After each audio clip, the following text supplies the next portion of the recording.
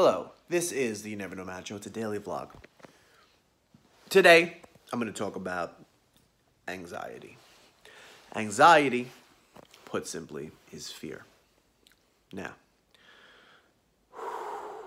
the problem with anxiety is that we resist it. That feeling comes up, that fear comes up, and we're like, oh no.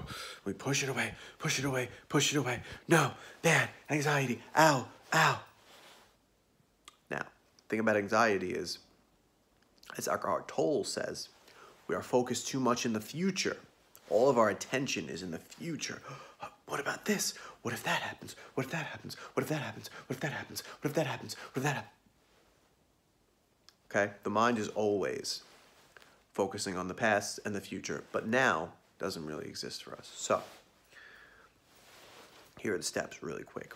First step for anxiety focus on here and now. Withdraw attention from past and future, focus on here and now. Step two accept how you feel, rated on a 1 to 100. How anxious are you?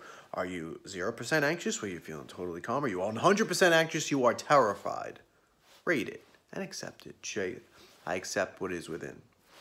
I accept it. Three, breathe. Take a breath in, pause.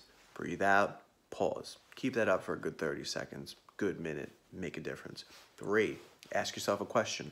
What is it that I'm truly afraid of? Or what could I be thankful for today? Change your focus. Four, change your physiology. Change how you're standing. Change the expression on your face. Number six, let go of what you can't control. Choose. I choose to let go of what I can't control. Really try the steps. That's You Never Know Macho. Subscribe.